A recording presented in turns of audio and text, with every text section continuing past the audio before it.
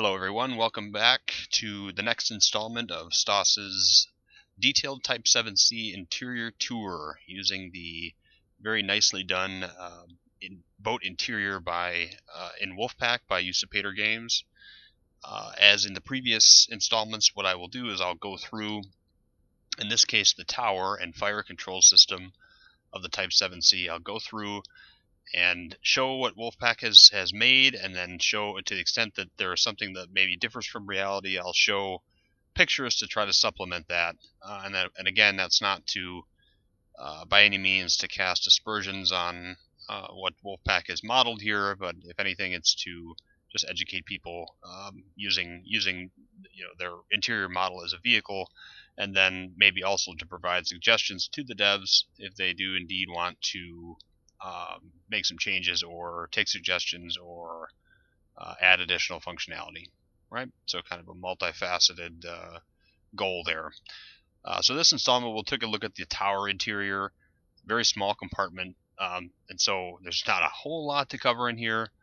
Uh, however, we will also uh, cover the fire control system in, in detail, in high detail, and that's actually for that we'll kind of run through the boat. Uh, and again, this is not the fire control system as it is implemented in Wolfpack. This is walking through the actual functionality of the entire fire control system that is all of the components that are spread throughout the entire boat, not just the TDC. It's, it's very easy to uh, to assume that fire control means TDC only. That is not the case. There, it took several uh, guys, uh, pretty hefty personnel uh, complement to um, operate the entire fire control system throughout the boat. And so we'll cover we'll cover that whole thing, and we'll also just cover a little background of this compartment here, the tower interior, as far as who stood um, who, who stood watch here and and who was on battle stations here. Okay. All right. So starting up as you walk up the tower ladder, uh, as walk up the ladder from the control room, you are facing the starboard side of the boat. Okay. And so as you would come up here, you would take a left and you would you turn the left and you would see the helmsman station, the tower helmsman. Now, on a Type 7, and this actually goes for all, at least all World War II submarines from the from a German and from an American perspective that I'm aware of, uh, the main uh, helm station was in the tower. It was not in the control room, and there really was there was a helm station also on the bridge. However, that was that there was that control box that was up on the bridge was actually the one from the control room. The helmsman would bring that up to the tower, to or excuse me, to the bridge when on maneuvering stations. That that means when entering or leaving port. So if you ever see pictures of a of a of a boat entering or leaving port, you'll always see the helmsman up there in the port um, port forward uh, corner of the bridge. He's operating the um, the control box for the um, for the um, for the rudder up there. Okay, so there there really there are three, there are actually four helm stations, but we'll cover the, the auxiliary helm and the aft torpedo, or excuse me, um, the aft torpedo room and e-motor room later uh, in a different video. But suffice it to say, this here is the main helm station for surface travel, uh, and to, to a certain extent also for submerged travel, unless um, certain battle station situations called for the helmsman being down there, and we covered that a little bit when we were down in the control room. But normally, you would find the helmsman sitting up here, hunched, hunched over, sitting on his little. Um, Wolfpack hasn't modeled it, but there was a, a collapsible seat here that folded down. It was it, it collapsed up against the bulkhead here. He would fold it down. He would sit on the seat, and he would be these the the control box angled a little more toward where we are now, as was um, his compass, uh, gyro compass repeater, and then he would of course have his his engine order telegraphs here. He would have tachometers above those, and to actually supplement this, let's take a look at what this looked like on U96. So here's here's really um, kind of the same. I guess we'll get to the same perspective here. That's looking right about here with with the edge of the ladder there, so you can see just for comparison. Um, that's the same view in U96. Again, I, I think Wolfpack's tower is a little bigger than in reality. This is really tiny space up here, but there it's excuse me, it's pretty close. So up here you see his the tachometers up there. You've got the voice pipes here. You've got his engine order telegraphs there. You've got a various electrical switches here. He would also have an alarm switch that was covered, similar to what you see in the control room, and similar to how Wolfpack has it. An alarm switch that would uh, to trigger the alarm. He would be the guy on uh, in your typical scenario of like, say, a um, you know an aircra- aircraft alarm or whatever. He would be your guy that was triggering triggering the alarm. Uh, that was typically his job. If he heard alarm come down from the bridge, he was flipping that switch and then getting ready and ratcheting his EOTs there to, to tauchen so that the um, engine room would know that uh, they needed to shut the diesels off, and the e-motor room would know to um, to switch the D- switch the e-motors on. Okay, and so he had that functionality here, and he was typically responsible for that. So you can barely see kind of his his uh, rudder control box there with his push buttons, and then you can see his gyro compass repeater right there. Okay, he'd be huddled in here, and um, he also had something called, and here's actually a different view of it from of U564, another Type 7C. This is um, Teddy Suhren's boat. So you remember Teddy Suhren? He was a famous ace. Reinhard Suhren, he was a very very famous ace uh, during the toward maybe toward the middle of the war but anyway, this is the view from behind the ladder, from between the ladder and the TDC, looking toward the helmsman. This is the combat helmsman. Typically, every every boat had one. He was typically a lot of times the most senior, um, senior sailor, senior basic non-rate sailor uh, on the boat, and he was the most skilled at the helm, and he was always the helmsman at at battle stations. Okay, so this is the combat combat helmsman here, but again, you see his EOTs up here. Um, you've got his you got some voice pipes right there, right? And he's he's watching his uh, his gyro compass repeater there. Okay, all right. So that's that's just another view of him, and he's got this this uh, life vest on, which is typical you see in pictures of battle station situations. They'll always have this on. Okay. All right. So another th- interesting thing that he had, and here's actually a view of U995's the way it looks now. There is the collapsible seat that the helmsman would sit on right there. You know, the rest of this is pretty much all gone. I mean, you've got electrical switches here. There's the alarm switch right there.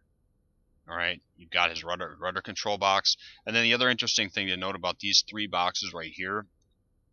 These two boxes here are actually switches for the. You can see the switches on the top of them uh, these are switches for the receiver EOTs. So the receiver units are in. So the again, just to recap, you've got two sender units, which are in the one in the control room and one set in the control room and one set in the tower, because you're sending orders from there. You, are not receiving them from there. Those are always your sending units, and then you've got two receiving units, Empfänger, two receiving sets of units, and that's one set in the diesel room and the other set is in the e-motor room. Okay, so what these are these are for is for port and starboard is to set the receiver units to e- which receiver units to be active, either um, just the diesel room, which would be your standard for surface travel.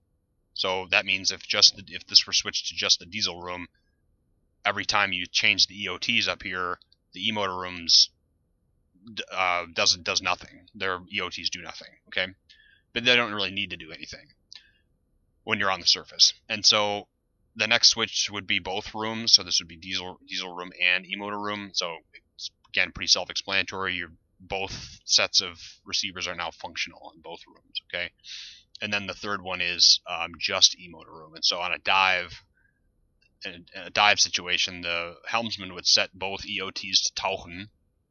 That that would signal the diesel room to shut the diesels off and decouple, unclutch the uh, diesel engines from the from the shafts, and then he would switch that to both rooms, and then the e-motor room would then respond uh, to uh, to the EOT order. Usually was great speed ahead for a, like for an alarm type of situation, and then he would once that was done, he would switch these boxes over to e, e um, e-motor room only. So then the the diesel rooms EOTs would be inactive. They wouldn't show, they wouldn't register changes, and the e-motor rooms would. Okay.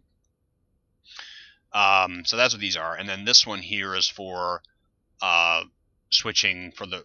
There's a switch on, I think it's on the side, And there's also a dimmer switch here, but the switch on the side is for switching uh, like what rudder control box would be active. So you'd either have the setting would be either tower and bridge or or just tower only. Because again, the control room one is removable. The control room one would go up to the bridge. There, there weren't three of these boxes. There were two. The one in the control room would get removed and brought up to the bridge. Um, and then the dimmer, the switch on the side is actually a dimmer switch for, I believe, for the um, rudder angle indicator, which he, of which one of which he would also have, just like you have in Wolfpack right? So that's that's the helmsman station. Uh, the other thing that he had that's interesting, that's not very well known, is he had what's in German what's called an Entfernungsmelder, or alternatively, you hear it sometimes called a Distanzmelder. And what this, what that basically means is it's like your odometer. It's so the odometer that you have in Wolfpack is actually historically accurate. Um, you, this is this was very very handy. It was connected to the log system. Again, the, the, the log speed system ran on a very similar uh, system to what you'd have with, with your pitot tubes on an airplane. Uh, it worked off of off of um, water flow versus airflow, and it also worked off of ambient pressure. Uh, and so, and that was a that was a way for um, this was connected to that system, and it also had a time element in it, so that it could it could show you just like an like an odometer would how many nautical miles you've traveled in X amount of time. Now it has two things. Uh, I've seen drawings of this looking different on like a 7B.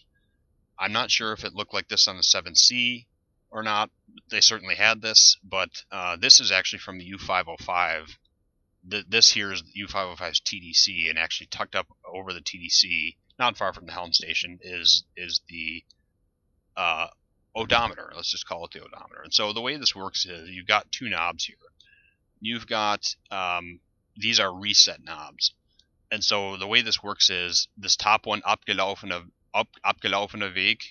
Abgelaufene Weg means like means your your the the amount of distance you've traveled. Like this is how much this is how far I've gone since I've you know you you could set a preset a preset number of nautical miles, and then this would tell you how far you've gone, and then based on how you set it, Restweg would be the rest of the way. Essentially, the here's how much distance you have remaining.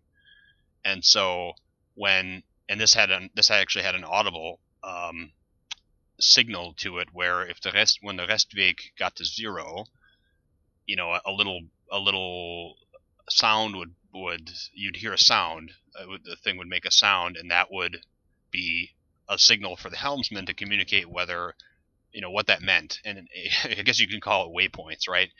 So what you would have is you'd have the helmsman watching this, and he would be presetting it to say, okay, the navigator might say, all right, we're going to make a turn, you know, west in a 100 nautical miles. Okay, and so the helmsman would, would be here, and he would set that in into his device here, and then as these would count down, and as this distance remaining went to zero, his buzzer would go, and then he would say, "Time for a cor- it's time for course change," and then that would signal, uh, and he would do execute that. Right, he would call it out, and then he would execute the course change. Okay. So that's that's what this that's the way this works. This is actually handy, and it's handy because you've got you've it's handy for dead reckoning as well, as the navigator is is you know plodding along between his celestial fixes. He's doing dead reckoning every hour, every few hours, or whatever. He's updating his position position on the chart.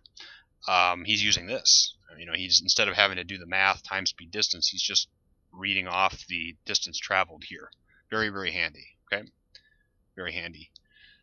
Um, so that's the helm station. That's really all there's probably is to really say about it. Um, so Wolfpack has, and it's entirely for gameplay purposes. They've got the TDC sort of they they've got everything kind of shifted this way a little bit. So normally the EOTs would be more here, and you know other thing like this the uh, intercom would be a little over here, and then the TDC would actually be behind the ladder. Um, it was actually here you can see it if we go back to this picture here the TDC is behind the ladder again here's another image of the of the helmsman station with um, with what looks like maybe a petty officer but maybe the bosun uh, working the TDC but here you go again uh, you've got Um, oh yeah, that's a couple other things I forgot to mention at the helmsman station You do have these; these are dive plane indicators up here.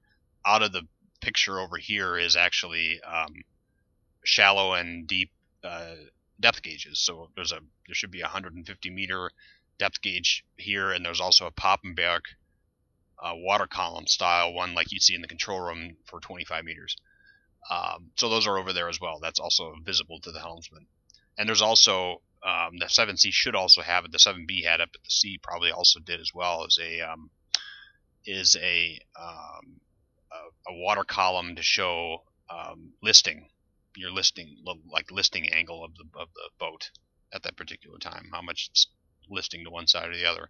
Okay, but here you see that the TDC is tucked behind the ladder, and up here you see the. Um, we'll cover this when we cover the fire control system, but the Lampentafel, so the lamp board for the for all tubes is up there. You can barely see it there, but he's got to sort of tuck himself next to the ladder there in order to operate the computer. I mean, it's really, really, literally right behind the ladder. Here's another good image of it right here. Okay.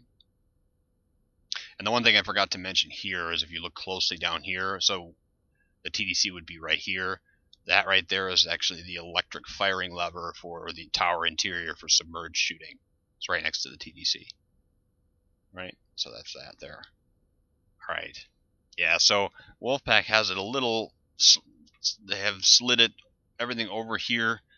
And I, that's totally understandable. Um, there's really no reason, I guess, to have it behind the ladder. If they did ever want to change it, they could probably do it by you know you having to access it, sort of like the bosun would have had to, and do it here and then click on it like this, or maybe have some sort of a um, click point, you know, somewhere in the middle here where you could click it and then it would zoom you through the ladder and you could operate it. But I don't know. I mean, it's fine how it is. It's, it's just you know, it's if they ever want to change it, that's that's how I would do it. But um, so that's the so that's the kind of the forward end of the, the forward sort of half of the tower here.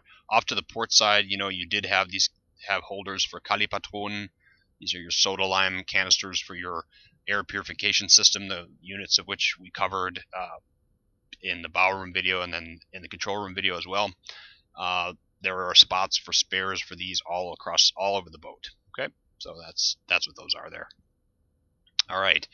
Also on the bulkheads here, you had um, in various places. You know, there were there were places to keep like sheaths to keep um, charts in. There were holders for stopwatches for various re- purposes for the navigator or uh, etc. Because um, remember, the navigator was his battle station was at, for submerged firing. His battle station was also up here at the tower.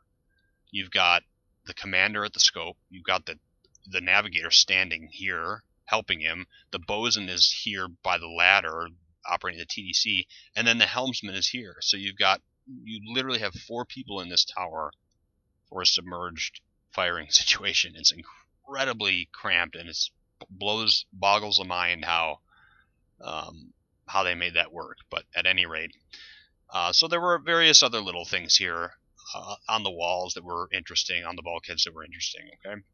Um, you've got down here the this is the hydraulic motor. So again, to recap on this one, um, the boat has two hydraulic motors, and they are they're designed to operate the periscopes, the raising and lowering of the observation scope, and then the raising and lowering of the attack scope, as well as the slewing of the attack scope. Okay.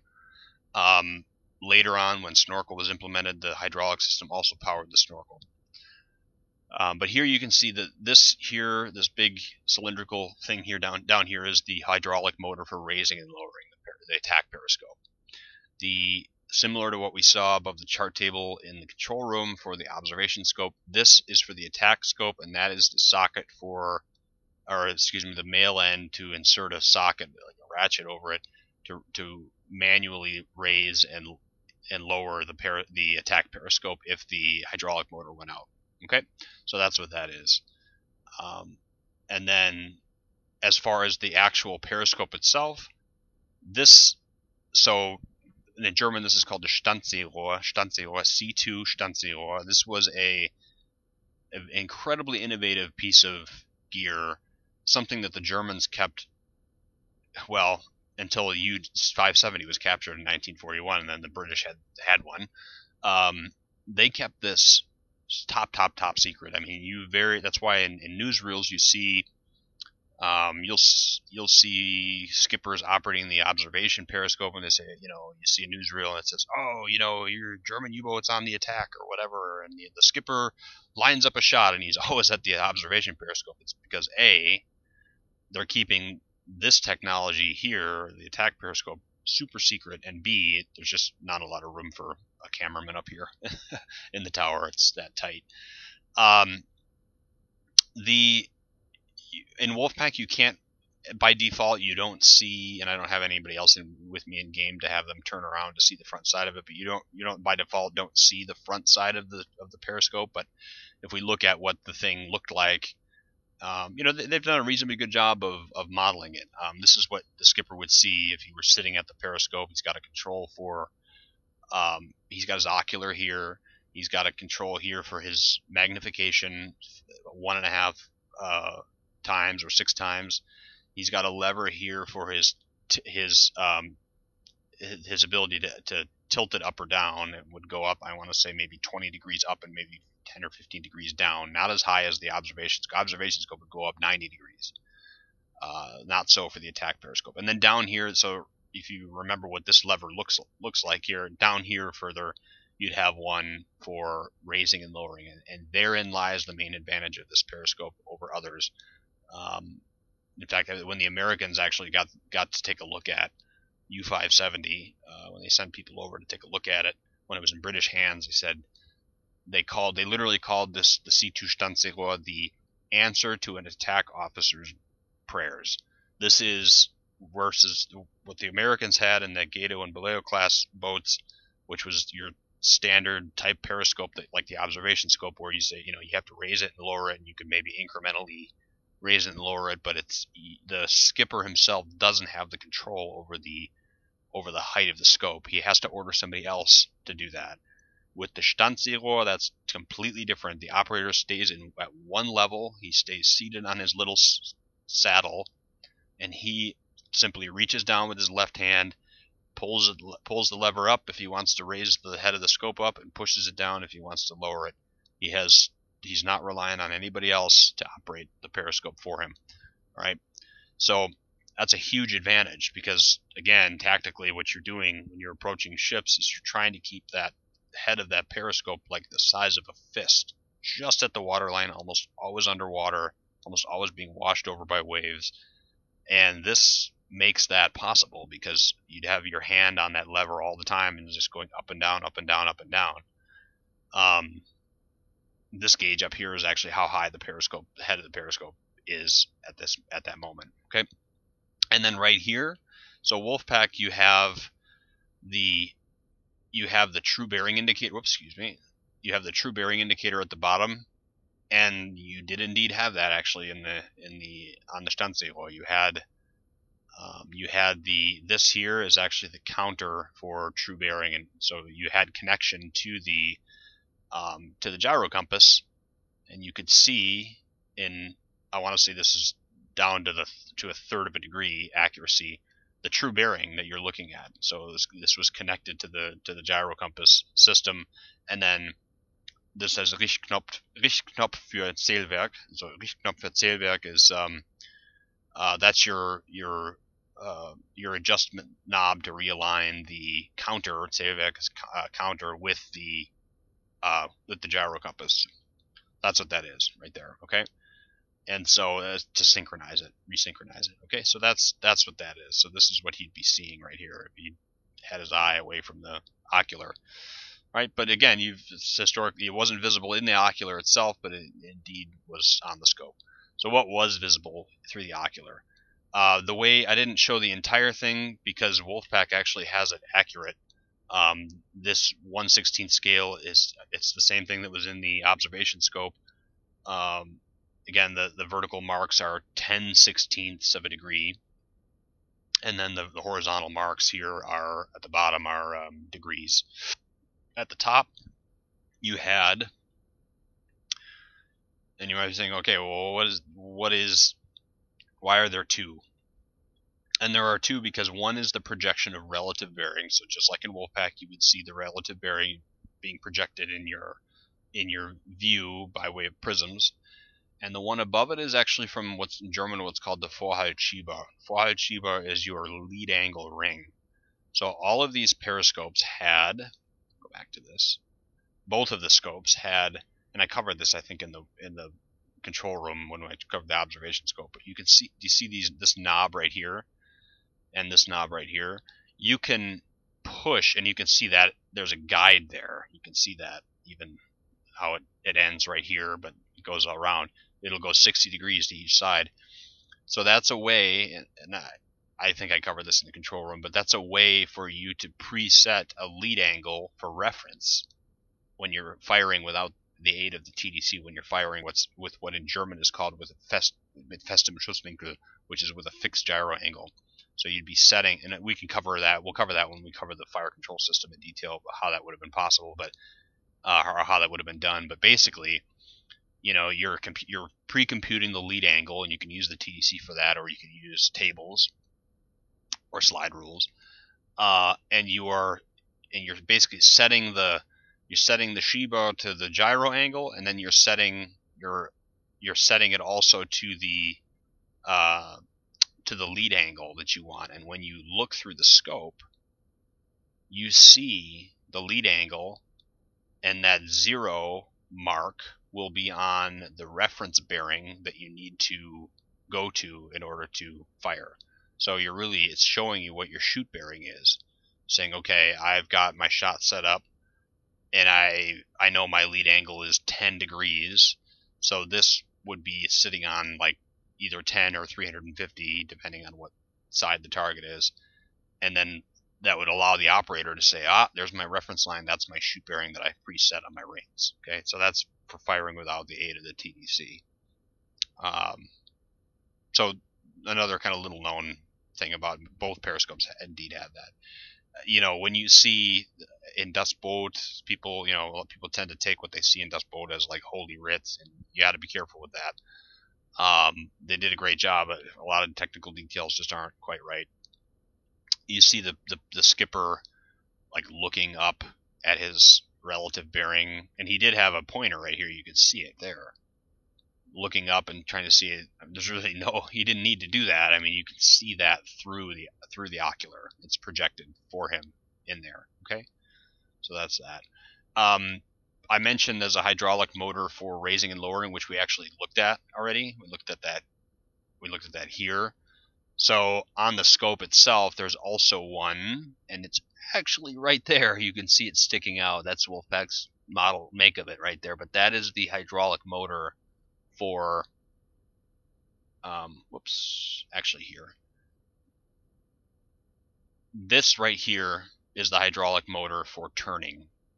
This here is the line for oil for your hydraulic fluid to come in and uh, and drive the motor. Uh, but that's the motor for turning right there. This hand wheel here is for manual turning. If the if you if you don't want to steer with the pedals again because this is steered with foot pedals and it's you push the right foot pedal down and you go left and you push the left foot pedal down you need to go clockwise you go right so that's how that works but if you didn't want to use that you would use the, the motor here this here is the it's on the back again you can see it's on the back side of the periscope TTR so this is your um, your bearing transmitter for the attack periscope remember there was one on the overhead like in the ceiling essentially of the control room for the observation scope.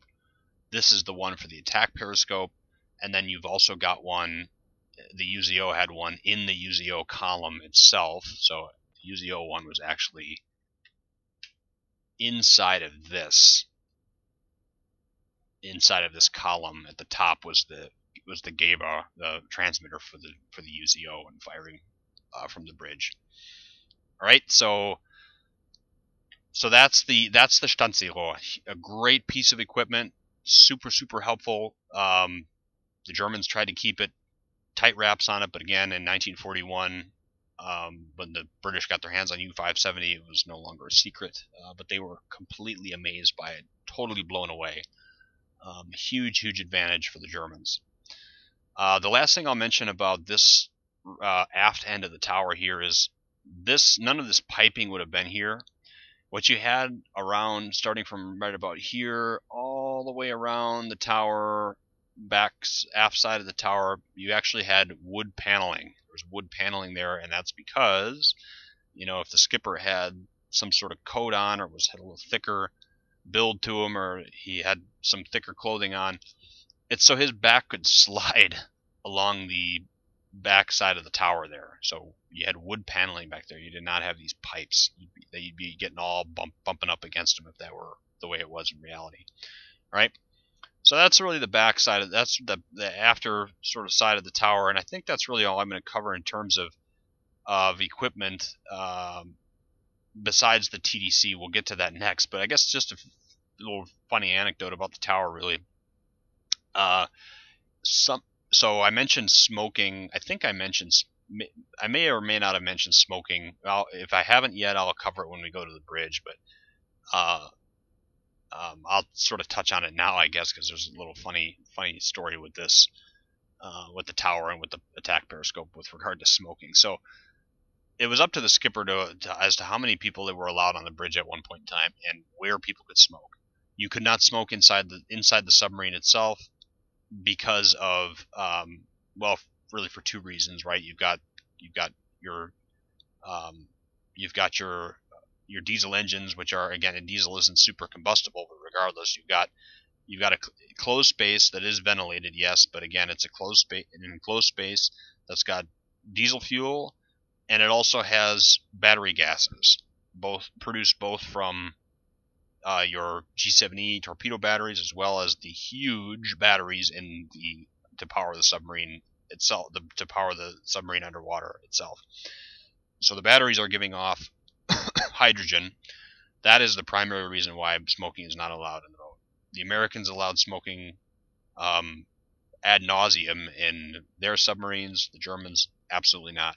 The one exception to that is in the tower interior. Sometimes skippers would let their guys, like one guy or two guys at a time, actually sit up here by the attack periscope across from the helmsman here and smoke cigarettes. Um, one or two guys, and and there'd be like a line down here in the control room, so, sort of like how there was a line for the for the head to use the head. You'd have the similar line here for you know, and, and the guys looking up and like you'll hear sometimes veterans will describe like you know a guy knows how long it takes to smoke a cigarette. And so he'll be up there like all right come on now i know how long you've been up there like you're done now you know come on come on come on come on. Suck it down or whatever. But the so like u96 for example had Willenbrock, the skipper, allowed his guys to smoke in the tower, one or two guys, and the um, the anecdote from from Buchheim is in his in the, the he wrote a book called Jäger im Weltmeer, which is um, his it's like Das Boot Light. It's like his his his propaganda piece about his his time on U96, like right after he got back, uh, or at least written during the war and he he he said that, the crew uh, dubbed because they're sitting by the attack periscope when they're smoking um, an Dorflinde, an Dorflinde, which is like which is like at it's like at the village um, like at the village tree is, is basically what it is. It's um, linden tree at the village linden tree is really what that is. Um, just funny, like you know that what they would do is is come up here and smoke, and it's like yeah, they're smoking on the by the village, you know, by the village linden tree here. That's what that is. And so, um, so that that was just a little, I guess, a little, um, you know, um, funny anecdote about what you know what, how guys could smoke in the boat, and if they if they couldn't smoke in the actual boat proper down there, they'd smoke in the tower at the skipper's uh, permission. So, otherwise, it was up on the bridge. All right. All right, so that's tower. Uh, we covered who stood battle stations here again. I'll, I'll cover quickly again. The, so the the commander would be up here at the periscope for a submerged attack. Be up here at the periscope. Up here with him would be the navigator to help him with tables or slide rules or or a stopwatch or whatever he needs. Um, the bosun, so the Seemännische Nummer 1, this would be the your your chief bosun, so to speak, just like in Das Boot was up here operating the computer. Now, I think for submerged attack, they've got the first watch officer up here operating the TDC. not not typically the case. The bosun was up here. That was his battle station, regardless of submerged or surface. Okay. Um, bosun at the TDC, navigator, commander, and then you got the helmsman, the combat helmsman up here as well. Very very cramped space for a for a surface attack. You know, commander's up on the bridge. First watch officer is up there as well. You're, it's really just your those two guys now. You got your helmsman and your TDC operator down here, so very different for a surface attack. All right. Okay, so that being said, I think I covered all my pictures here. Oh, the one thing I didn't cover here is so what did so we all know the TDC as it looks um, in maybe or maybe we don't. I guess let's just take a look at this. So Wolfpack has has modeled to to a certain extent the model S3. Okay, and this was the model that was the most prevalent during the war. It took different shapes depending on the type of boat that was installed in. This is the shape for the Type 7 uh, C. Uh, the Type 9 had one that was more vertically oriented, uh, but it had all the same functionality. Type 10 had had no forward tubes, and so that one had was a little different. The Type 21 actually even got the same computer. It looked more like the Type 9s, but you know, the Germans once they once they made the S3, the Germans really didn't change the fire control system appreciably uh, after that. Okay, so this is what people are tend to be familiar with. It's what they see in Boot. It's what they see in sometimes in mods like in U-boat mod. It's what's there, and it's also sort of what's in Wolfpack. Okay, but what did it look like before? Before the S3. Now the S3 came around in about this, the development of the S3 started in about 1937, and it start it started to be delivered to boats um, for testing in 1939 and then in earnest in 1940. Uh, so, and it was designed as part of the as part of the new 7C fire control system. 7A and 7B were delivered a different fire control system that had a lot of the same components, but just in a more simplified fashion and in, and not in a streamlined fashion. And like what that looked like, for example, for on a typical Type 7B would be the type would was the T4 C37 so this is your typical 7B fire con- or uh, TDC. Uh, the one for the 7A looked substantially similar to this. It had just a few few differences. Okay, this one had a few improvements over that, but very very few. Uh, this one was it was more point and shoot. You had connectivity. The uh, the system had connectivity with the optics, just like the uh, the S3 system had. However, it had no functionality for Lage Laufend, which means that the, the angle on bow didn't update as you turn the periscope as it did in the S3, which is the functionality that people are typically familiar with from games like SH3 or SH5 U-boat, uh, where you know you know you have that that direct coupling really with AOB and bearing. Not so on this computer.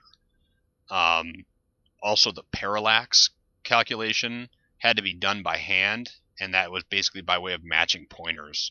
So that was actually pretty laborious, and, and I read that it actually took really two guys to operate this computer because you had to have one guy entering the settings for that are given by the commander for target speed and for angle on bow, etc. And then the guy who a, a guy that needs to keep updating the parallax calculation every time the gyro angle changes and every time the range changes and the bearing changes, uh, because parallax is going to be constantly changing. So this this computer was actually more designed for um, or was more it lent itself more to point to setting up a static shot in the future and then waiting until the target crossed your fire your crossed the wire cross your aiming point and then you would fire.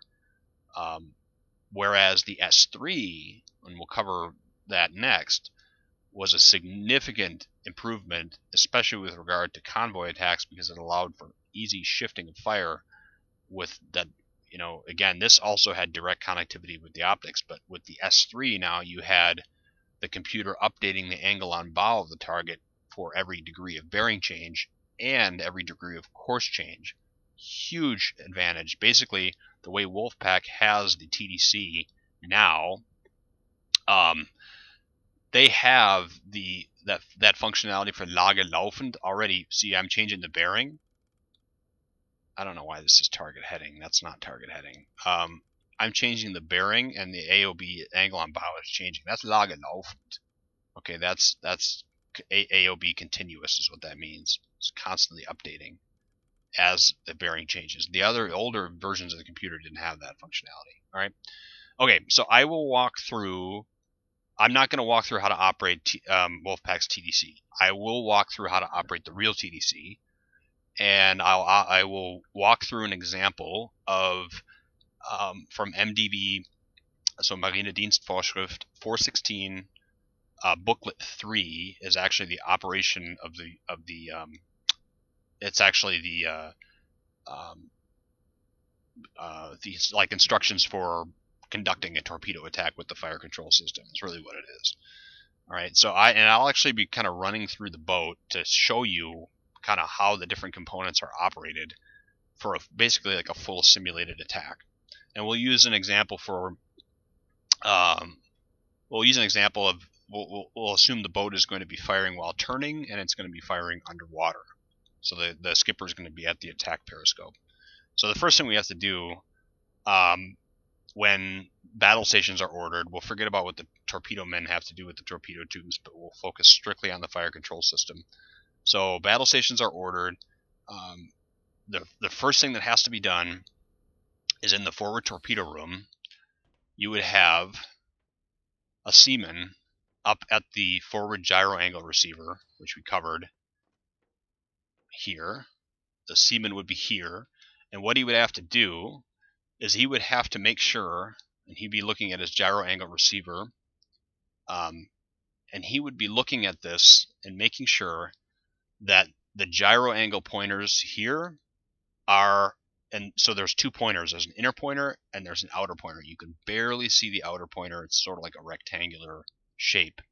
The outer pointer is what's currently set in the torpedoes, and the inner pointer is what's being transmitted from the TDC. So he's paying attention to the outer pointers, and he's and he's he sets this switch here to the bottom setting, which is gyro angle by hand, Schusswinkel von Hand. He sets the switch to the bottom position. He can use the wheel to turn the outer pointers to zero. And then there's actually a window on the torpedo tubes for you to be able to see what the gyro angle is that's currently set in the um, in the torpedo. There's a you can see actually there's a, a little ring like a, with gradations on it that has shows what the actual gyro angle is that's set in the gyroscope, and that needs to be zero as well. All right, so um, so you would basically turn the wheel until until you're you're reading zero here. That's really the first step, um, and then you would return this switch, the default setting for this switch is actually the top one, which is Streuwinkel von Hand, Schusswinkel automatisch. That means spread angle by hand, gyro angle automatic. That was the that was the the default setting for this gyro angle receiver because the gyro angle is going to be electrically transmitted from the TDC and shown on the inner pointers here. Uh, and there's a there's actually a um, an amplifying motor that's in this that's on the back side of this device that that sync that works to synchronize those pointers okay? That works to synchronize those pointers and thereby turn the gyro spindles that are that come out of the back side of this device and set the gyro angles automatically in the torpedoes okay? So that's that's that. So you would you would do that there. And then your your torpedo man in the aft torpedo room which will run oops run into the wall um, the aft torpedo room, if you run back there real quickly here, he'd be doing the same thing. So you'd have you'd have one guy back here as well.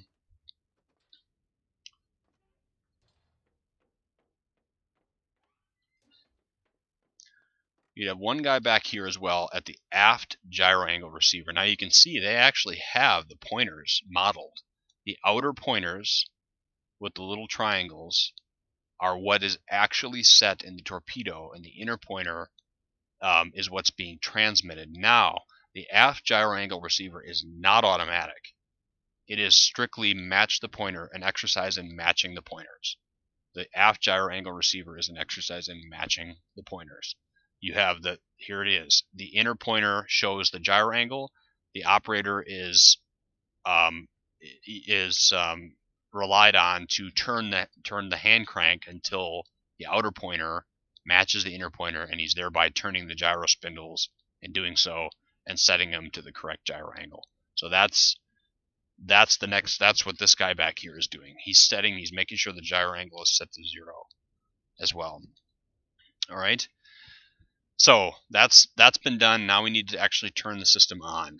So how does that work? If we go up to the control room again now again this is this device isn't modeled in Wolfpack but right here you would see the main switch box for the fire control system and that is this. You'll see it's actually a pretty prominent device. You see it in if you see an image of the chart table, you almost always see this. It's a relatively large, excuse me, a relatively large box, and it's angled overlooking the chart table. So what does this do? So a couple things here. You've got a couple switches down here, uh, and then you've got a cycle switch here, and then a select a couple selector switches, and then you've got a regulating knob here. So what you what's, what's happening here is you're turning both of these switches on. These switches, this one provides 110 volt DC power to, to, to power the um, launch, torpedo launching system, which is which is um, three things. That's your fire, your electric firing levers in the tower and the, br the bridge. That's the lamp boards that show your um, what tubes have been selected, and that's also your um, your control box, your firing control box, which is actually this one right here. If you see what I'm circling, okay, under the chart table. That's what's turning. That's that's those run on 110 volt uh, DC. This switch here provides. This says GV. That that is um, that is that stands for Generator Verstärker, and that is that's for the um, uh, that's for the gyro setting gear. Okay, that is the um, that's the the amplifier for the gyro setting gear to give it enough power to be able to, to turn the gyro spindles and set the gyro the gyro angle in the torpedoes. This switch will will will, will power um, that that device 110 volt to that. Now we come up here and we this switch is currently in the bottom position that that says Umformer UMF is Umformer. There's a there is a fire control system um, converter in the aft torpedo room that converts that takes 110 volt current and and turns it into 55 volt AC. It takes 110 volt DC and converts it to 55 volt AC in order because the fire control system runs on 55 volt AC. You can see that here. Okay, so that's what the converter does in the aft torpedo room. Uh, in the aft torpedo room is also the GV. That's the uh, the gyro setting amplifier. That's also there. The bottom switch is both of those things are off. I have to select the left hand side that says Umformer Anlauf GV aus. That means the the I want to um, I'm gonna, I want to start the converter for for the fire control system, and my um, GV uh, amplifier is still off. Next, I cycle it to the top position. That's Umformer Betrieb. That means my my fire control converter is running, and G and GV Anlauf, which is GV start. So now I this gives me uh, that's now um, starting the starter the starter mode, activating the starter motor to start the GV. The GV will run off of 110 volt, but the starter motor, that's what's ha uh, happening there. You're you're activating the starting motor for that that will fire up the gyro setting gear. And then as a last step, you set it to the right. This is the default setting. This is for both are running. Betrieb. Okay, both say Betrieb, so that means they're both running. Okay, good. So that means now we actually we should have 55 volt registering here on the gauge. You can you might actually be able to see it or maybe not, but right at 55 volts there there's a red line. That's the that tells the operator, okay, you know, I've got I'm you know, if my needle is at that red line, 55 volts is what I need. Right? And so um, you've got okay, so and then you've got the knob here, which Spannung, Spannungsregler, which is your um, your voltage regulator. You're you're able to if this is not 55 volts or it's you know it's alternating, you can use this knob to regulate it to make sure it's at 55 volts. Okay, and now the fire control system is getting the power it needs if you then select the right hand switch here. So TR, TRW ANL, that's Torpedo Richtungsweiser Anlage, that's your fire control system. alternatively alternatively called the Feuerleitanlage. But the TRW Anlage is your torpedo director. Well, that's not correct. It's torpedo director system because your fire control system is made up of your torpedo director system and your torpedo launching system. Okay, the launching system of which we turn on down here.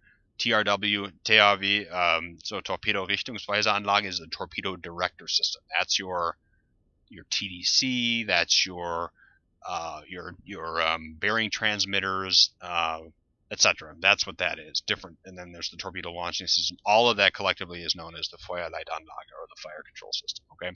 So if I've got 55 volts regulating or um, registering here, I switch this to the right, and that provides power to the fire control system.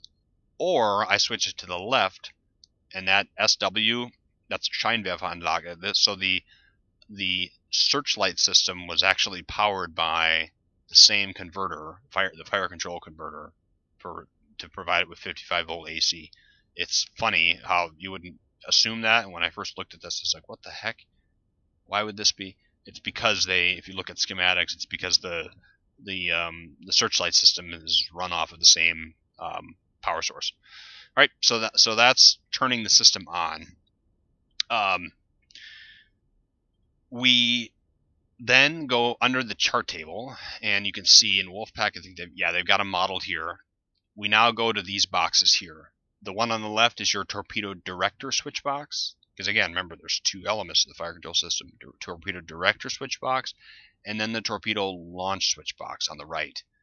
Um, and so what we need to do, and I'll use again to supplement, we want to switch these. So this one here is is the on the on the Wolfpack TDC. You have a lot of these switches are actually on the TDC itself in Wolfpack for ease of use.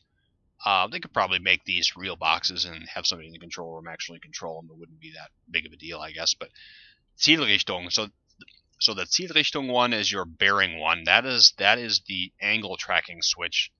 Effectively, that's basically what it is. It's your angle tracking for your um, your bearing tracking for the optics.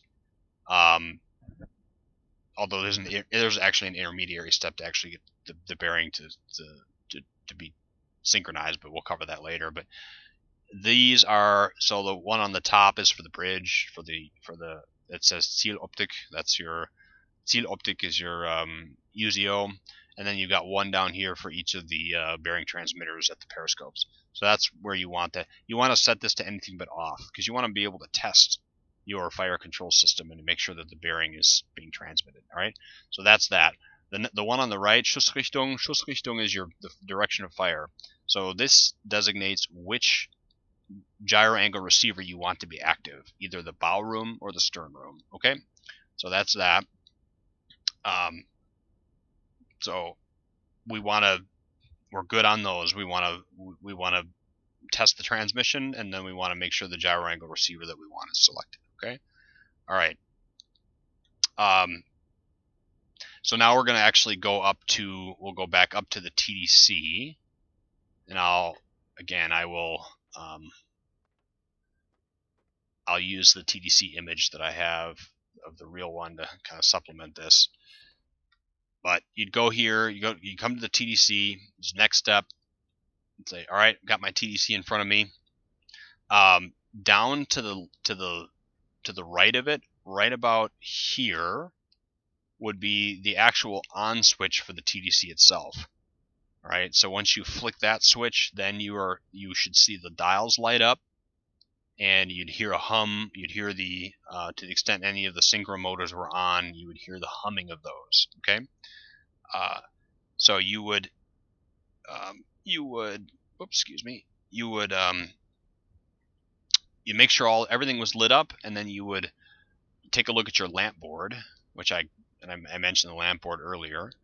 You should see any number of these be lit based on what's selected on in the in the torpedo launch switch box. Okay, you want to make sure that these are lit. Some of these are lit because then you know that your torpedo firing system is working properly. All right, um, and so at that point in time, what you would do is you would test the the motors, and we're not going to go through exactly how to test it. I guess we'll just I'll just sort of explain what the motors are and what they do. So you've got several. So the the, the TDC S3 had several what what I like what called sort of synchro motors in them. Way they were motors in there that eh, most of these point most of these dials had an outer pointer and an inner pointer.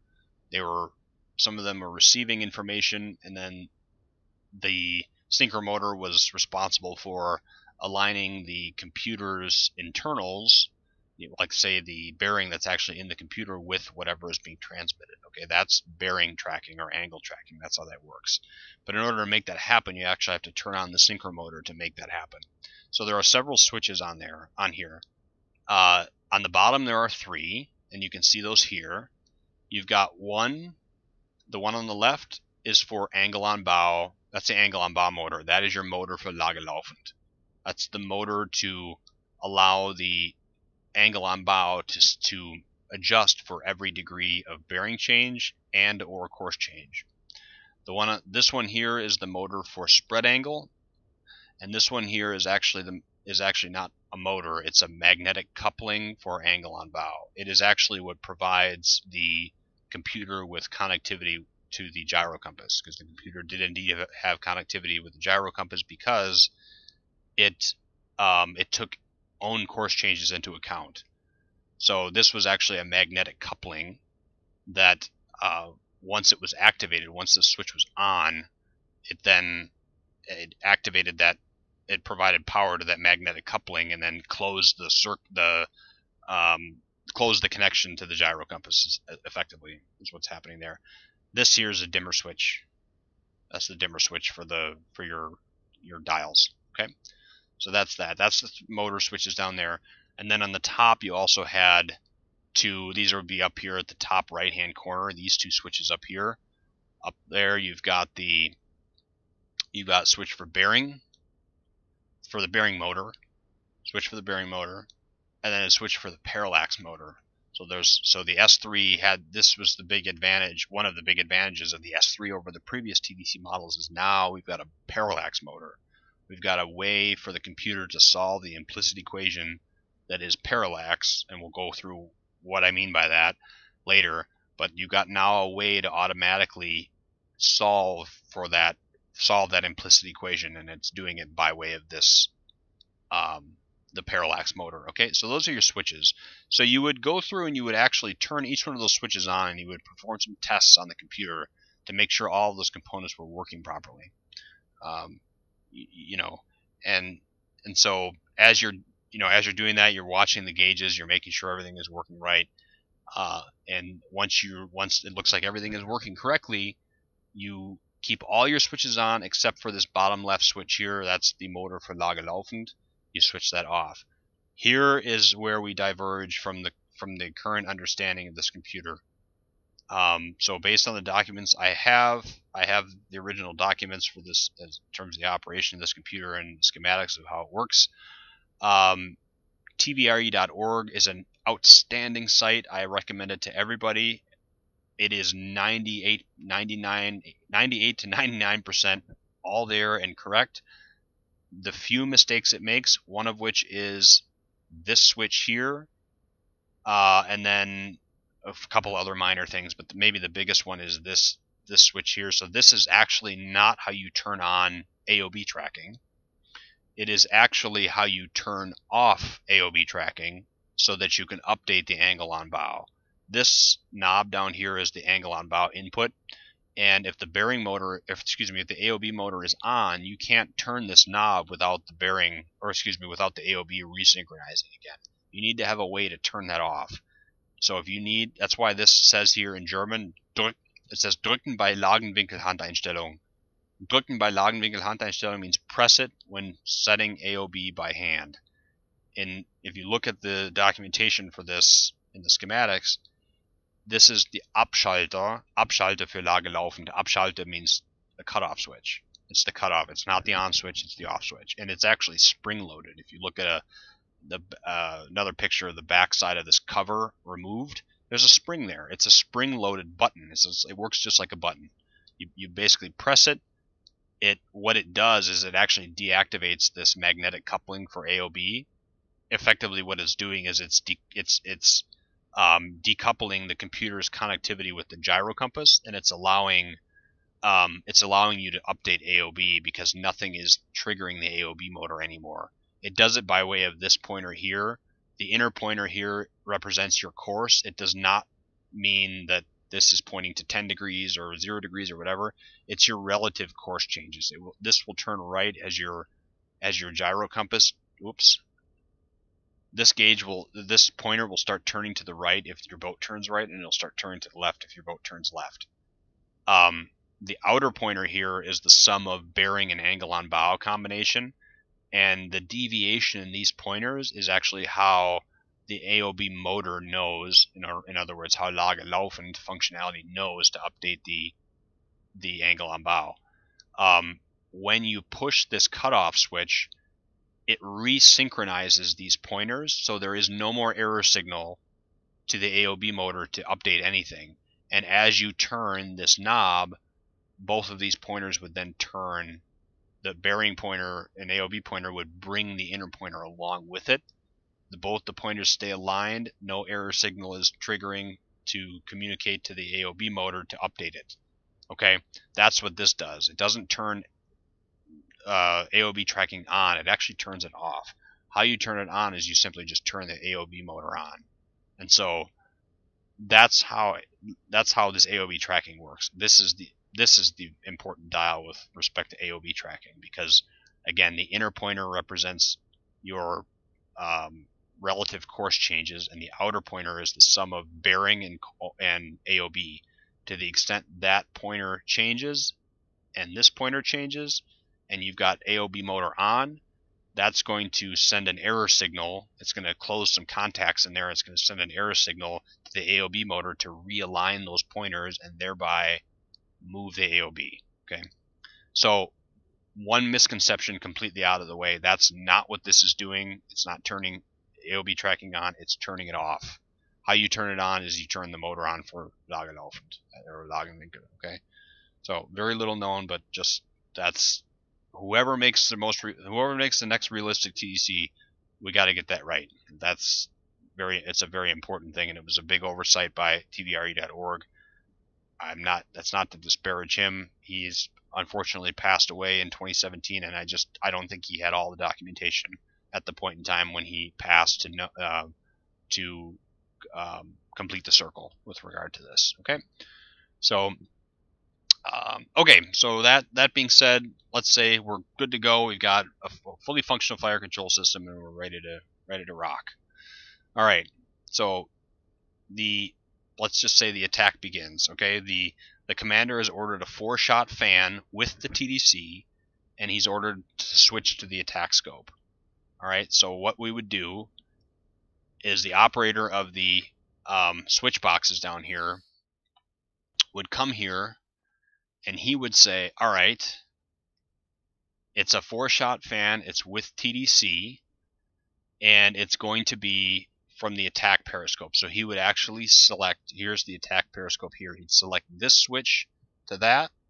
He knows that it's going to be a fan shot, so he knows it's going to be from the bow room, so he would select bow torpedo room here. Now he'd go to his launching switch box, and then he would say, okay, I need to set this to this to this Fächer im Drehen, that's his fan uh, while shooting. I need I know I want a fan, so I'd set that there. It's a four shot fan, which means I want to set all one, one, three, two, and four. So that's actually this setting here. So I'd click that to there, and then I know we're firing from the tower interior. That's the bottom setting. The top setting is fire is to activate the firing switch for the bridge. That's on the UZO column. The one pointing down is the one inside the tower. Okay. All right, so that's all set up. We've got all those switches set correctly. We come back up into the tower. The man at the TDC would then be switching the parallax knob to the correct um, to the correct setting. Now they've used this as the parallax knob as a proxy for torpedo depth. There was no torpedo depth setting on the TDC. Uh, the parallax knob is this here, and what it's doing is it's telling the computer to use the correct Cartesian coordinates for to compute parallax from the correct end of the boat. It's either it, the settings are either vordere Rohre or achtere Rohre, so either forward tubes or after tubes. It's telling the computer what um, coordinates to effectively coordinates to use to compute parallax correctly. Okay. Um, so that so that's important. And now we go back down to the bow room. Let's just pretend we're running down to the bow room again and we're going to our gyro angle receiver. And now I because a four shot fan has been ordered, the first step I have to do here is I have to make sure I turn the wheel until the outer pointer of the spread angle dial is at zero.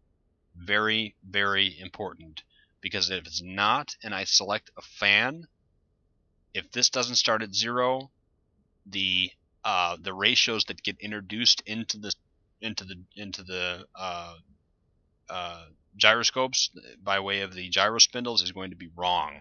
My starting point, if my starting point is wrong, and so the, that's why this sign right here says um, you, you don't you only set a fan when the outer pointer of the spread angle dial is on zero. So I would take I would turn this until the outer pointer said zero of my spread angle dial, and then I would switch this down to four shot fan, okay? Because I know that's what's going to be that's what's going to be um, used. Okay, and if this is at zero, then what happens is every time I turn this wheel to set the spread angle to match the pointer, it will introduce the correct ratios into the into the torpedoes. Okay.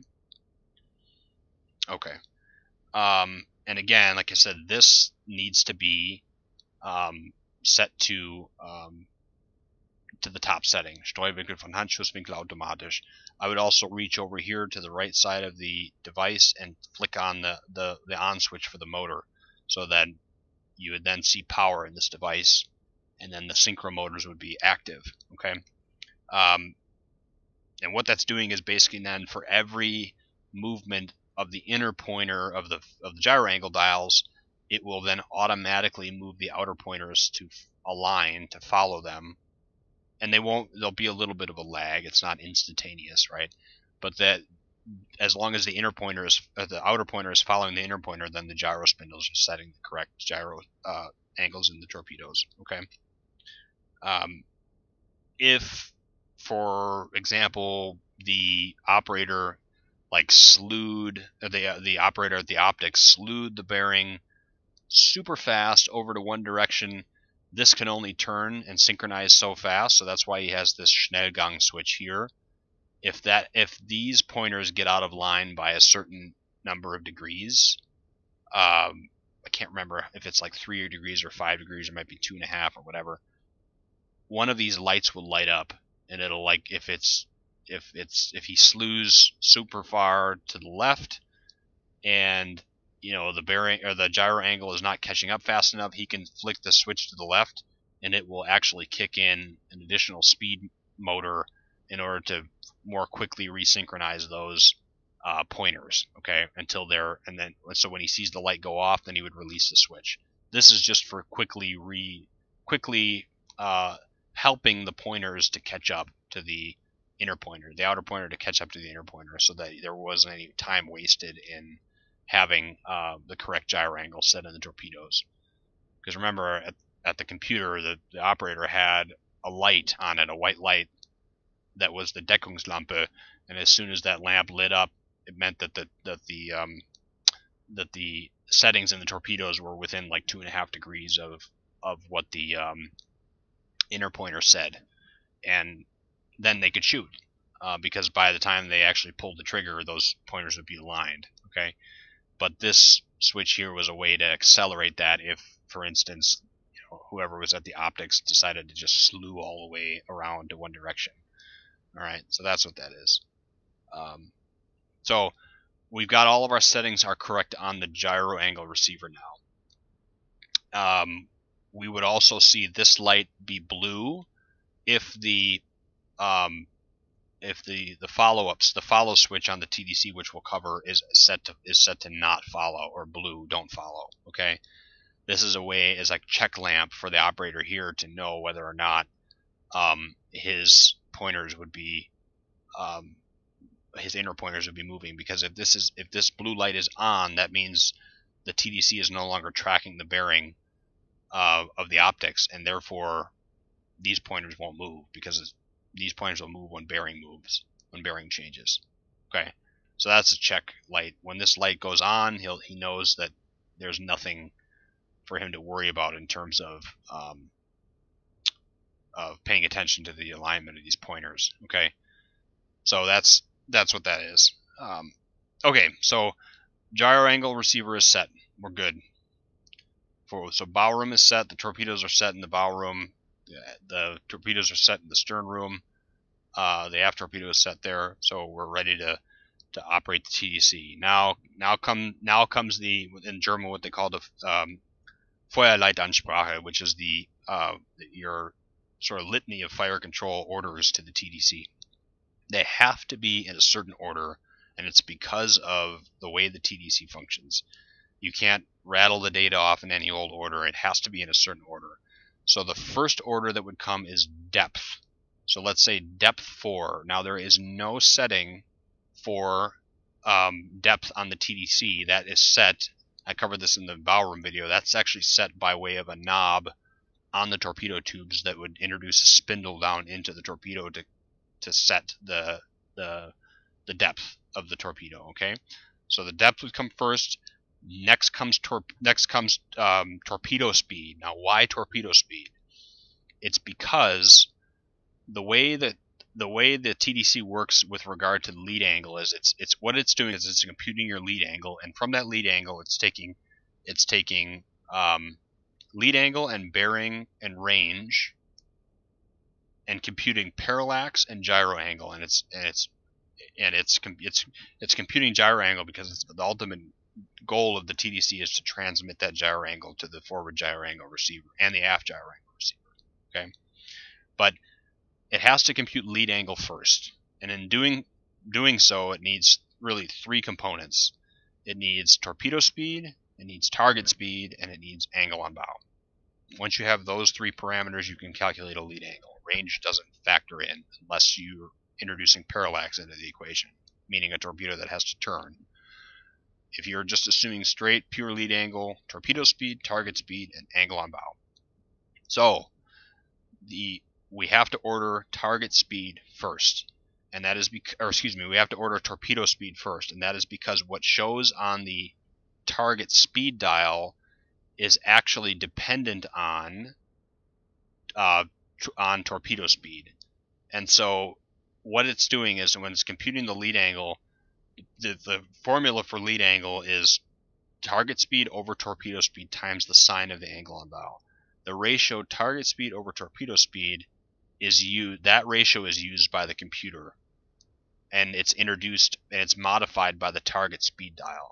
So what that means is if I set target speed first to say 10 knots and then the skipper says, "Oh, wait a minute, I want torpedo speed. I don't want torpedo speed 40. I want torpedo speed 30."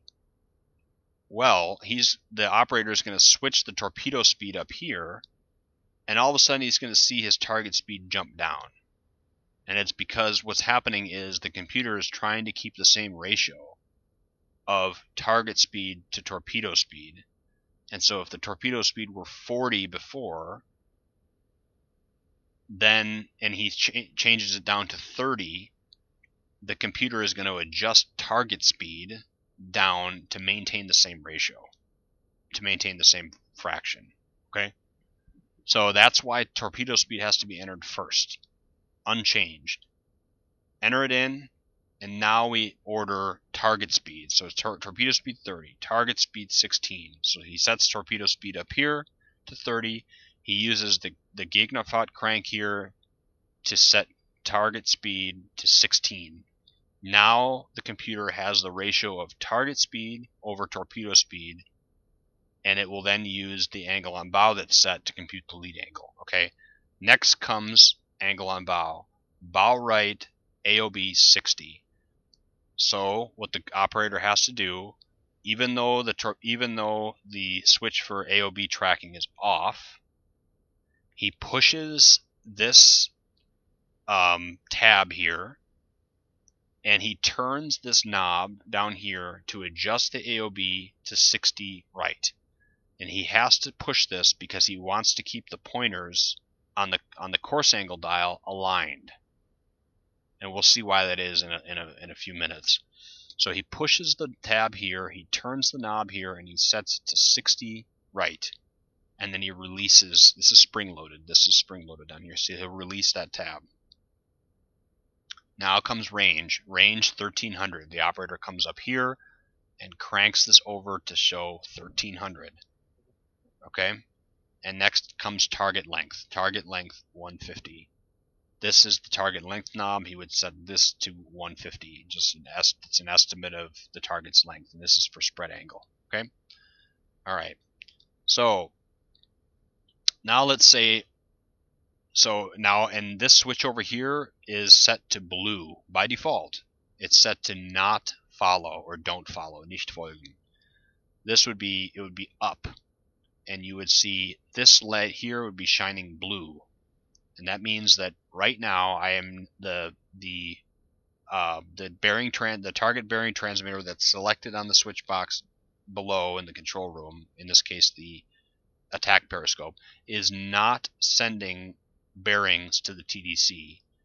Well, it is really, but what's happening is you can think of it that way. But what's happening here is um, the the bearing motor has been cut off, has has power has been cut to the bearing motor.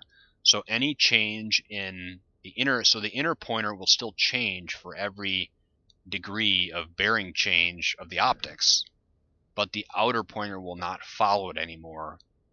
So the bearings are still being transmitted, but the motor is not active in order to synchronize it because the, this switch is saying don't follow. So the outer pointers would stay would stay put, the inner pointers would would would move, but again, the outer pointer is really what matters to the computer. Okay, but so that's it's not following as of right now. Okay, so what that means is then like this dial won't change because the outer pointers aren't moving. It's just the inner pointers, the trans that are being transmitted, the, the reflective bearing that's being transmitted from the uh, bearing transmitters, that's moving, but the computer's bearing is not. Okay. All right. So now we've got we've got those data entered. All right. We've got the other thing now we have to do is the spread angle that's being computed by the computer because we have remember we have the spread angle motor on. So what the spread angle component is doing is it's taking it's taking angle on bow, it's taking um, it's taking target, it's taking range, and it's taking angle on bow, and it's computing the spread angle. It's computing the angular width of the target. Okay, it's it's basically saying at this AOB at this range, that target is X number of degrees wide, and it's displaying that here. And then, and then the computer is transmitting this value as well to the forward gyro angle receiver and the operator of the gyro angle receiver will see that on the inner pointer here. So you can see the spread angle that this particular operator is seeing is 2 degrees. At that point, he turns his wheel so that the outer pointer aligns with the inner pointer. And that is introducing the correct ratios into the into the torpedoes, into the gyro angles of the torpedoes. Now a word about spread angle. Every game gets this wrong. Wolfpack may get it wrong. I'm not entirely sure. I have not tested it, but uh, certainly Silent Hunter does and U-boat does. The angle that's on this dial is not the entire dispersion of the spread. It is the angle between each individual torpedo. The purpose of a German spread was to ensure one hit on uncertain data at long range or whatever the case may be, but you want one torpedo to hit. So what does that mean? For a spread of 2, this would indeed be the dispersion between both of those torpedoes. For a spread of 3, it would be the total dispersion of all of those torpedoes would be 2 times this angle. And for a spread of 4, the total dispersion would be 3 times this angle. You're casting a wide net and hoping that one of those torpedoes hits. That's what the Germans used the spread for. They didn't use if they wanted all shots to hit, like a, what they called a Mehrfachschuss. Mehrfachschuss was a multiple shot where they intended all of the torpedoes to hit the target.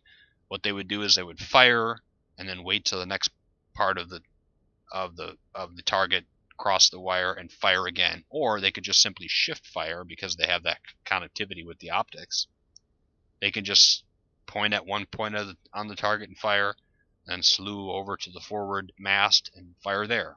There's no need to use like the Americans did a certain pre-computed spread and then set those into the torpedoes. No, spread was simply to ensure one hit based on bad data, and that's reflective of how the mechanics work here. Okay.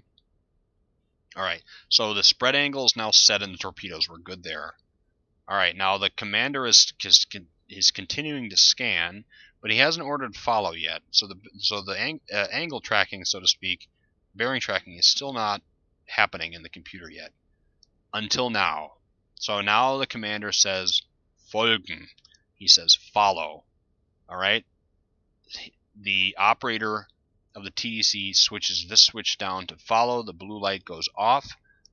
The bearing outer pointer synchronizes with the inner pointer now and will continue to stay synchronized as long as the optics are moved.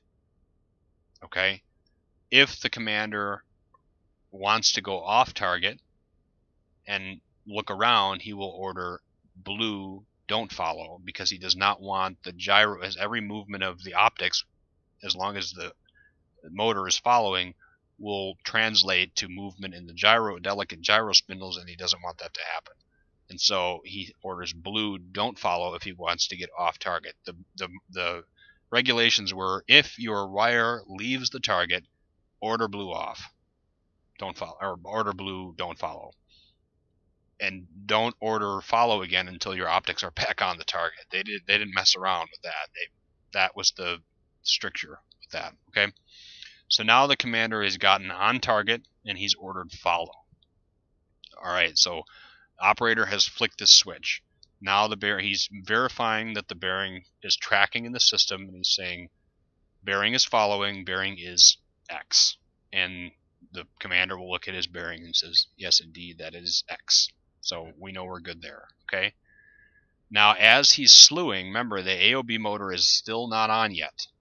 So as he's slewing, assuming the the, the assuming the submarine is still on the same course, the inner pointer is locked to the same course because it's it's got connectivity to the gyro compass.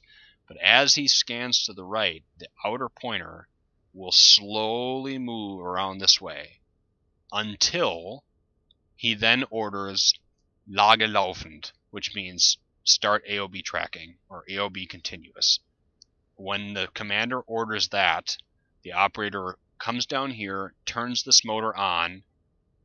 Now the AOB, which he's set to 60, okay, the AOB motor detects because there's a disparity in these pointers here. The AOB motor detects that disparity and realigns AOB until this pointer aligns with the inner pointer again and it will change AOB by that amount. Now think about that. AOB 60 was ordered initially. The commander says follow. He follows the target for maybe 3 degrees, let's say, okay? And then he orders Lage laufend. When he turns the AOB motor on, the AOB will show 63, not 60 and that's important because this this interplay between these dials made it made sure that because of these the way these pointers work, if you order an AOB and then you change the bearing,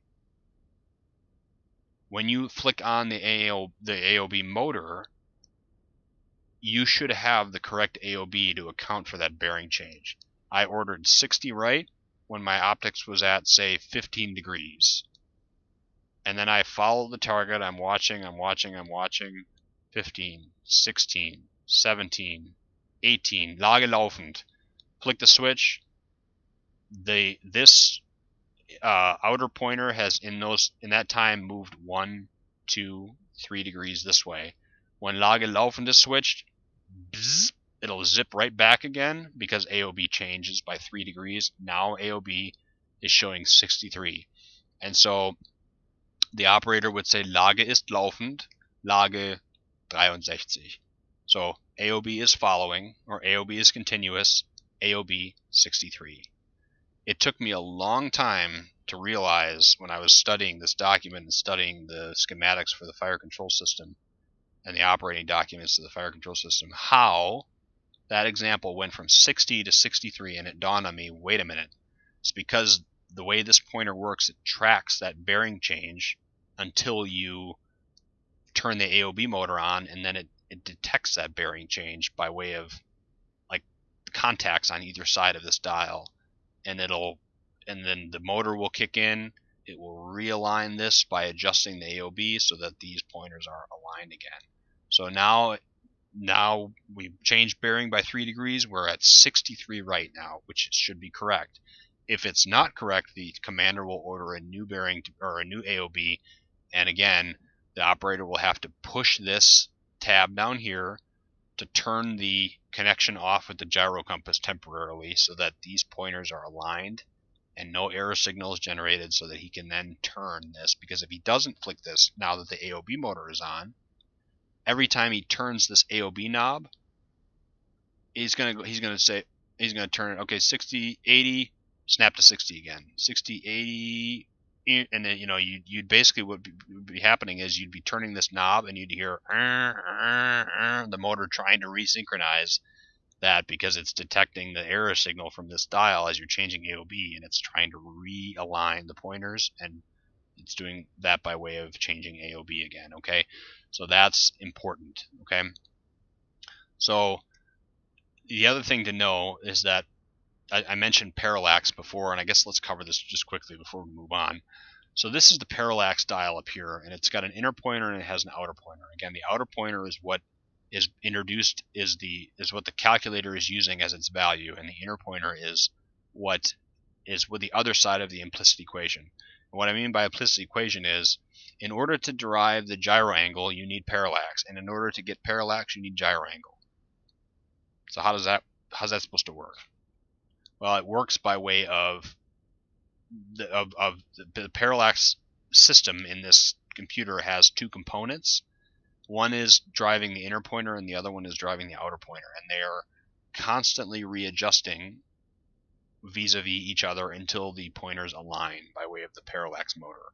It's solving the implicit equation by working to align the pointers so that one isn't so even though one value is dependent on the other the the way the component works in there is it's it's able to make enough small adjustments in order to realign the pointers and solve that implicit equation okay um, but it's worth noting that every time parallax changes AOB is going to change uh, assuming assuming the AOB motor is off and you can make free changes to AOB every time you change parallax AOB is going to change that's because you are basically what's happening is you're you you're what matters to the computer is what's called the equivalent point of fire. That's the, that's the point.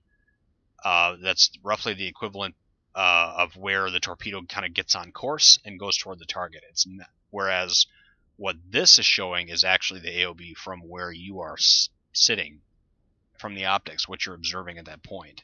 Well, what the computer cares about is is 28 meters and some odd meters forward, where the torpedo is going to get on course and leave the boat and then get on course, it cares about what that what the AOB is from that perspective.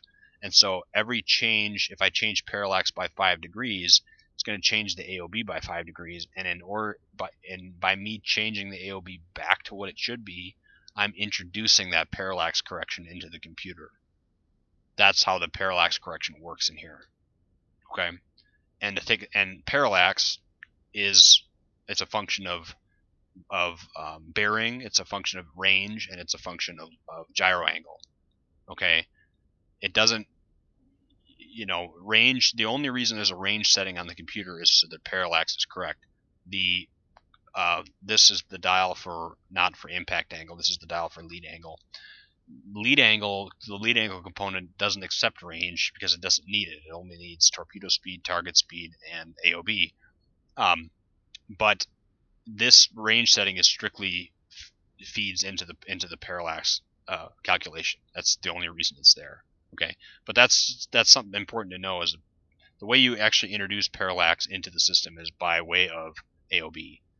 You parallax changes, which will change your AOB ever so slightly, and then by you changing AOB back, you're introducing that parallax correction into the computer. Okay. All right. So we've got AOB continuous on Lage laufend. We're following the target every every degree that the that the commander changes um, his bearing, changes the optics. We'll update the AOB now by a, by a degree. Okay, it's one for one one for one. So as he's scanning to the right, he's watching. We're watching the AOB grow.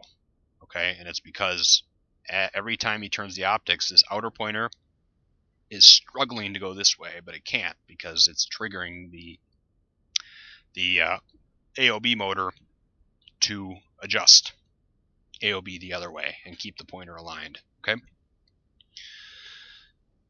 All right. So he's following. He's following. He's following. Now he says fan ready, green two. So now he's getting ready to shoot. So he's he's making the fan. He's he wants uh, everybody to stand by, and he's about to fire. But he says green two. What does green two mean? Well, we come down to this dial here, and this says Drehgeschwindigkeit. That's turning speed. So the S3 could actually take uh, the boat's turning speed into account because there was actually a lag a very very slight lag of about a, about about 0.4 seconds, um, where that it took the a, a 0.4 second delay in the gyro setting mechanism, um, to the extent that if you turned too quickly, that lag could actually throw off your shot because the gyro angle can't adjust for your course change um, quick enough. And so this this actually allows the computer to take that into account. So what it does is you would turn this to the 2 mark to the right, green being starboard. You turn that that way, and what it does is it introduces a little bit of a correction into the. It does it by way of the bearing dial. So as you turn this to 2, you would actually see the bearing outer pointers slightly turn the other way and it's basically like providing a little bit of an offset to account for that um, that lag, as that's what that's doing.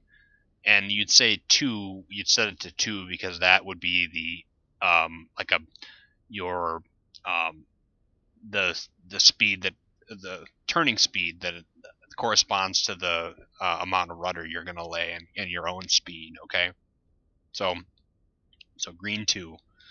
So that's my turning turning speed um, to starboard, based on my own speed and uh, like the rudder angle, which is probably rightful rudder at submerged. Okay. All right. So now this they start the turn. As the commander, as the boat turns, the commander is keeping the target in the optics. So that means if you're turning to the right, the bearing is going to the left. But since we are going to the right, the movement in the outer pointer here stays about the same.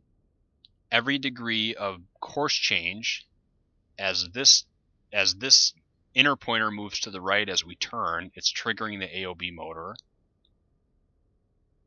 to go one way, to move the AOB one way, and as the bearing is changing going the other way, it's triggering the AOB motor to move the other way, so if we turn a, a degree to the right and we move the optics degree to the left, the AOB stays the same. If we turn another degree to the right and we turn the optics another degree to the left, the AOB stays the same because the computer is taking own that and that is how the computer is taking own course changes into account. It's all by way of the relative movement of these two pointers, own course and bearing and AOB. As long as those get out of line, the bearing, uh, the AOB motor kicks in and and uh, realigns the AOB to what it should be. So as long as the optics are on target, just like in Wolfpack, as long as you keep the optics on target, the AOB will always be correct. very very important feature of this of this computer. Okay, so the boat is turning. We're about to shoot. He's keeping the optics on the target.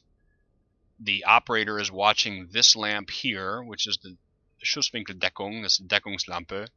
The the um, as soon as that turns white, as soon as that turns white, he will yell Deckung, which basically means matched or it's covered or matched. Um, and that means that the gyro angle in the forward gyro angle receiver is within a couple of degrees of what it should be. Okay, the inner pointer and the outer pointer are almost aligned. In other words, by the time the shot happens, they will be aligned. So that when he yells that, he when he sees this lamp light up, he knows that at the gyro angle, the gyro angles in the torpedoes are within uh, a couple of degrees of what's showing on his dials here, and then they're good to shoot. Now, let's look at an instance where that might be a where you might have a problem with your gyro angle. Like torpedoes for most of the war were were limited to 90 degrees to the right and to the left. I think a lot of games have you going out to like 135 degrees. Not the case. Not until LUT came around. Uh, when LUT torpedoes came, they could fire over 180 degrees to either side. Not the case for most of the war. It was it was um, 90 to the to the right and to the left. And this is I should have gotten a better picture here, but this is poor quality. But the way the gyro angle dial worked is you've got you can see the four dot ones are for four, a spread of four, the three dot ones are for a spread of three, and the two dot ones are for a spread of two. What happens here is based on um, based on the uh, the settings in the computer, these sli- are sliders, and they would they would slide apart. Like this one would slide down here, and this one would slide up here, and it would reveal a red background. And if this line here, this indicator line, fell into that red background, that means at least one or more torpedoes would fall outside of the 90 degree range. Okay, meaning you basically can't the torpedo can't turn anymore and you can't complete the spread as as set because one of the torpedoes is going to fall outside of this outside of the permissible angle. Okay, that's what these are. So as these moved, and you can actually see this, these are already moved. This here, even though it's a black and white picture, that's the red background that's showing these have separated. You can see there's the end of that one and there's the end of that one.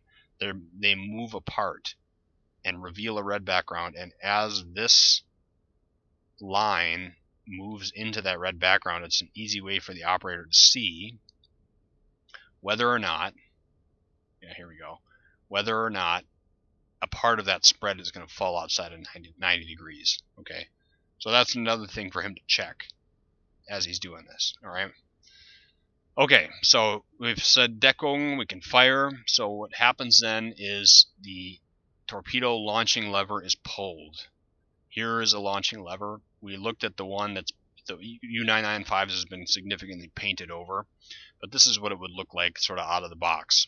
Off, shoot. All right, and then you got a lock, you got a safety mechanism here to lock it. Okay, so on the order los, so he first he'd say Fächer, so fan, dot, dot, dot, dot, wait eight seconds because he needs to give the chief engineer time to make the necessary adjustments for trim for firing. That's why he inserts an eight second pause. Fan, eight seconds. Los, okay. Los, the uh, the TDC operator is right next to the TDC. He would pull this switch down, electrically fire the torpedoes. The torpedoes would go out every like 2.3 seconds based on the timing switch in the control room. He didn't even need to hold this lever down. He would pull it and pull it back up again. The timing switch made it was constructed so, such that um, each torpedo would fire at that correct interval until the last torpedo fired, and then it would shut the switch off.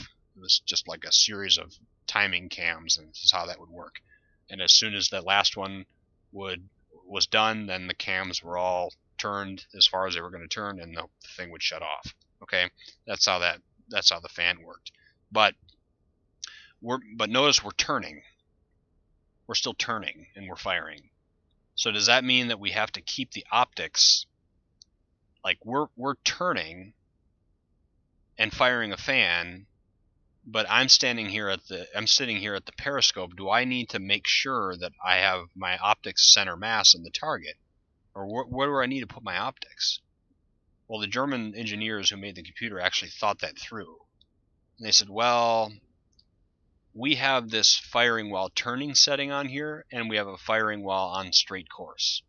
The firing while turning setting, if if if we're going to allow our guys to be doing that, we don't want to have to make them keep the optics on the target for the entire spread because that's you know that's upwards of eight seconds of you know excitement and adrenaline going on, and maybe you're trying to scan for other um, threats or whatever, or other targets in the area as your spread is leaving the boat. We don't want it so that the that the shooter has to actually keep the optics on target. So what they did was they made a another magnetic coupling in there that when the when the, when the correct setting on the switch box was set to fa- shooting while turning, the second the firing lever was closed to shoot, the bearing motor decoupled from the optics. And instead of that, the computer took as bearing change course change. It took course change as bearing change. Because again, every degree of of course change is going to be one degree of bearing change of the target. If you if you turn to the right one degree, you have to turn the optics to the left one degree in order to see the target.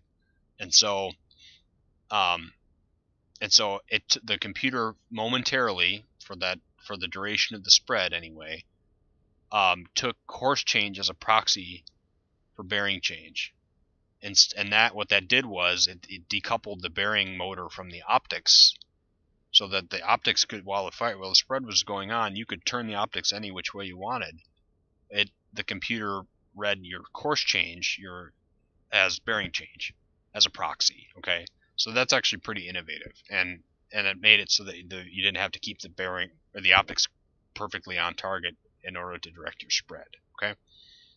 Okay. So that's how that that's how that works. And so so now the shot has fallen. The shot's done. The last torpedo has has left the tube.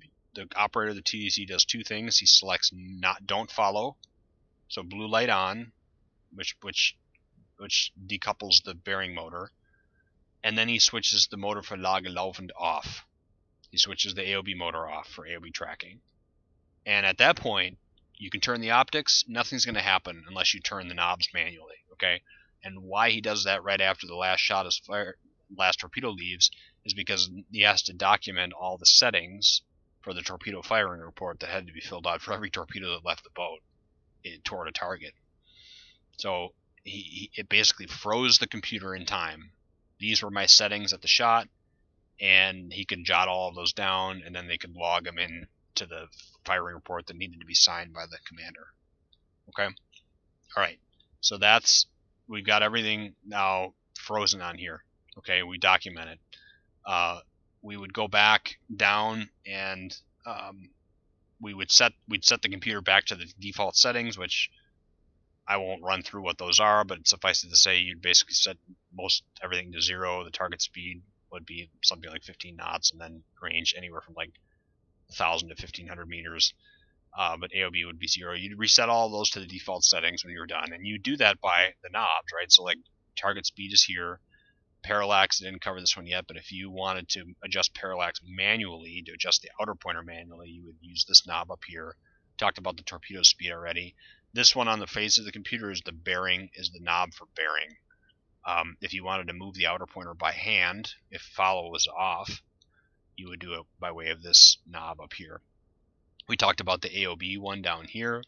This one is for spread angle. If you were to want to set the spread angle manually by hand, the outer pointer, you would turn the knob for that.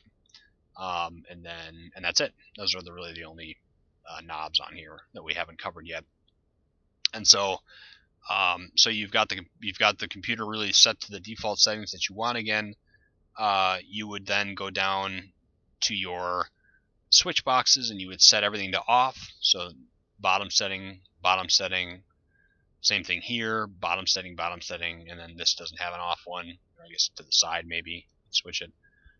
Uh, so you set those to off, and then you would go in your on your gyro angle receiver, you'd turn the motor switch off here, shut that off, and then you would, very important, you would reset these all these pointers by way of the of the wheel. You'd set it, reset them all to zero again. Okay, reset them to zero.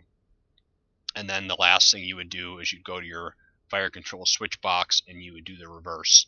You would switch this um, this to off to cut the power. And then if you wanted to turn the converters off, you would switch this then to the bottom setting, which would shut the uh, torpedo, excuse me, shut the fire control converter off, as well as the gyro setting uh, motors off. All right, and then you would switch your your switch for your firing, your launching system. You'd switch that off, and then you'd switch the 110 volt direct current to the uh, to the converters off as well. And then you were, that's it. That is the entire fire, the entire operation of the fire control system in a, in a nutshell through a simulated attack. Uh, a few, just a few additional things on here that I didn't, or really one thing that I didn't point out, or two things I guess I didn't point out specifically are the top left dial is actually in the the default computer was Vorhaltewinkel, so that's actually your lead angle. Uh, in it, in the iteration of Wolfpack, it's impact angle, and that's because 995 has as impact angle. Because when LUT was introduced, the uh, Lagenunabhängige Torpedo, that uh, impact angle was actually an important setting in the LUT um, device up in the forward torpedo room. So the, the TDC actually replaced the lead angle dial with impact angle at that point in time late in the war. Um, why might you ask is like what value has lead angle on the computer when all you really care about is the gyro angle and it feeds into the gyro angle calculation anyway. So why do you need to know lead angle? And it's because you can use if the the electricity of the system goes down you can still use this as a mechanical calculator to calculate lead angle. You would basically just enter all your settings in as you normally would and then you know the fixed gyro angle that you want to set in the computer. Let's say it's zero. You say, okay, I want to fire a zero fixed gyro angle, or I want to fire a 45 degree to the right fixed gyro angle. You would set that in the computer, but as you're changing your values, the gyro angle is changing mechanically, and so you would take the bearing knob and you would adjust the bearing knob. Say I change AOB, oh, gyro angle change. Use bearing knob to move, move the gyro angle back okay, tar set target speed, Oop, gyro angle changed. I set, by way of the bearing knob, I set the gyro angle back to where it should be. Um, and you're just doing that iteratively until your all your settings are correct. Your gyro angle is correct as you pre preset it to be. And then you look at the lead angle and say, okay, guy at the periscope, set your lead angle slider on the scope to be 10 degrees or whatever. And the bearing then should indicate on the outer pointer, the bearing should indicate the shoot bearing. So that's how you would actually use the device as a mechanical calculator to figure out your shoot bearing and your lead angle based on a fixed gyro angle. Okay, so that's why there's a lead angle dial here. It doesn't seem intuitive at first because you're like, why does that? Why is that needed? Like, sure, the computer needs to know that, but like, I don't need to know that if uh, uh, if it's computing gyro angle for me. It's because you can use this again as a as a me mechanical calculator to to figure that out. Okay. The next thing here I didn't cover is this knob here, and then this down here. This says Reichweite, and this says Reichentfernung. Um, so this knob here turns little like a little plate under here that has, as you turn it, it brings another value in hectometers uh, in view. So, and it's it's a way it's a reference disk basically under here to say this is my the reach of my torpedo. So, say you're firing like for instance a um, um, like a T2 that has a, a range of like 5,000 meters, you would set this to 50, and it's a reminder to you to say that's all it does. It just sets a little plate down here that says 50. And then what you'd look down here, each of these lines here, you can see, are actually um, they actually correspond to those uh, torpedo reaches. One will say 3,500, one will say 50, or 35, one will say 50, one might say 80, one might say 12, uh, 120 for like 12,000 meters. They're based they're based on the ranges of the torpedoes, um, like the range that your until your torpedo essentially, you know, runs out of fuel or runs out of battery.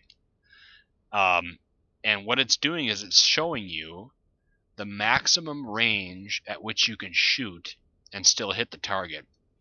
And so let's just say, for argument's sake, you've got a target that's coming coming toward you. Um, you know, coming slightly toward you, maybe AOB 60 or 70 or whatever, at a certain speed.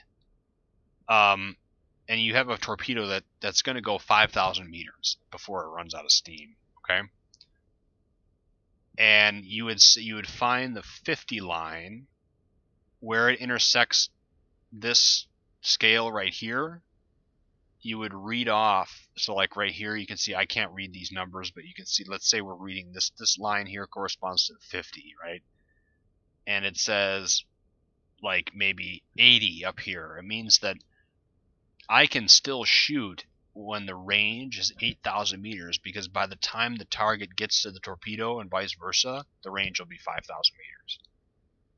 That's what that's doing. It's saying, based on the parameters in the computer, when my torpedo will my will my torpedo even reach the target by the time it gets to its maximum run?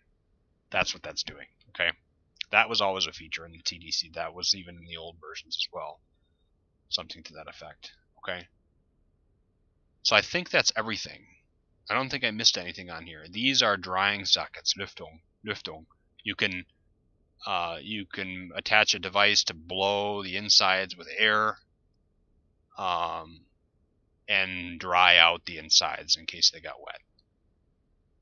That's really all. I think that's the only last thing to really cover about this. So that's all there is to know about the fire control system. I didn't leave much out so apart from some pretty esoteric details that I didn't already didn't cover in the video. But if anybody has any additional questions about the system, um, I know a lot about it, and I'm your guy. And so, you know, please, you know, keep me informed if you if you want to uh, learn more about it. Reach out to me. Um, you know, the the Wolfpack one, it it's the I will say it's the first iteration of the TDC to get Lage laufend correct in terms of the of the of the functionality of it of taking own course changes and bearing and um, bearing changes into account when you're figuring your when AO when it's computing AOB. So kudos to them for doing that. And I remember years ago reaching out to them and saying, "Hey, are you guys considering, you know, this Lage laufend functionality?" And they they said, "Yes, we are." And I said, you know, thank thank God for that because I mean that is that's not something that's in SH3 or SH5. If you change course in those games, you have to reset your AOB again. Whereas in the real computer, at least in the S3 model, the most prevalent model, you could change course and you could change bearing, um, and the AOB will still be correct as long as you keep the optics on target. So hey, so I got I, I have to hand it to them. Um, they did a, a, great job in, in implementing that that functionality. Um, if they want to make other changes to the TDC, again, that's sort of why I'm making these videos. It's it's just it's a question of of, of knowing the way things worked, and then seeing these videos or you know seeing this information saying, hmm, you know, I could we could make this or make that or whatever or change it. Maybe this won't be so hard. Maybe this, you know, I could see a gameplay opportunity here. It's really that's really what I'm trying to do here. trying to teach people on the one hand, and then also try to maybe give the developers some ideas based on how things really functioned uh, if they do want to make changes. So, at any rate, thank you all again for watching. Uh, coming with me, along me, with me, the, the called the deep dive into fire control. Uh, if you have any questions, let me know. I am always available. So take care, everybody.